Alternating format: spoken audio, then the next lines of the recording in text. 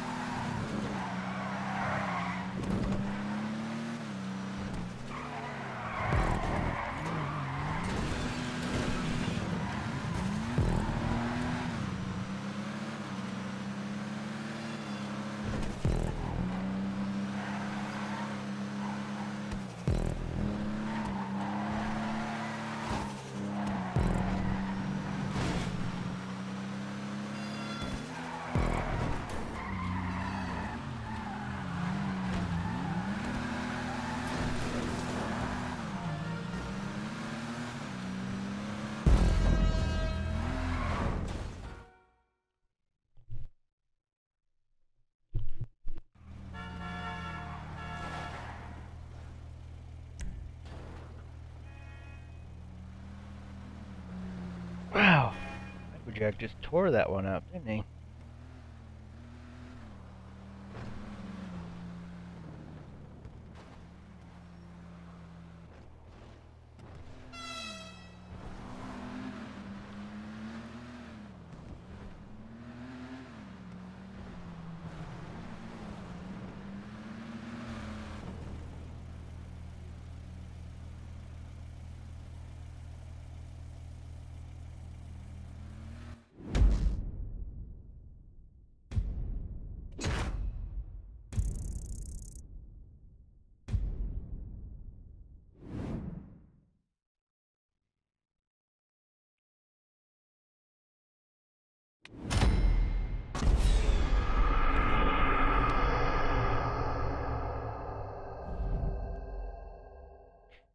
Not expecting a Fagaloa to win. They're usually slower.